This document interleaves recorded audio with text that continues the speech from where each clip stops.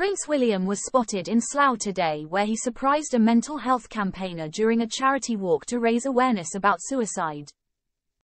The Prince of Wales gave Emma Webb the shock of her life when he appeared behind her on day 13 of her 160-mile sponsored walk. The campaign is very close to Emma's heart as it's dedicated to her daughter Brodie, who took her own life at the age 16 to suicide in March 2020.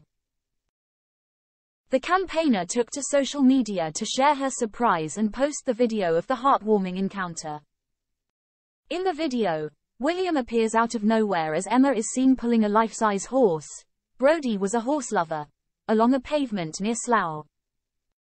The campaigner can be seen with a group of friends as they stand along a street, ready to take photos to commemorate day 13 of their fundraising walk. The future king, dressed in a khaki-colored jacket, smart blue trousers and brown leather lace-up shoes, was spotted moving towards them, picking up his pace. Click here to join our WhatsApp community to be the first to receive news about the royal family as soon as Emma realized who it was, she paused momentarily before shrieking in disbelief.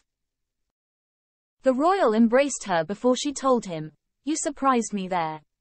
The Prince of Wales introduced himself to Emma's friends.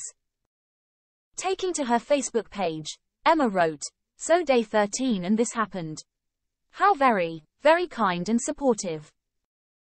Keep watching for the biggest surprise. The Prince and Princess of Wales are known for their ongoing support of mental health and for campaigning heavily on the topic throughout their royal careers. The campaigner has so far raised £30,000 for the trek to honour her daughter.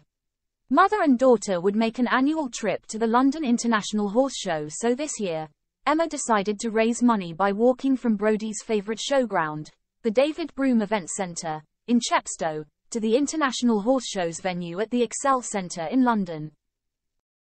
Become an Express Premium member support fearless journalism read the Daily Express online, Advert free get super fast page loading start 30 day free trial according to remembrance and charity site Do It for Brodie. Apart from having difficulties with friends in school, there had been no warning signs that Brodie would take her life.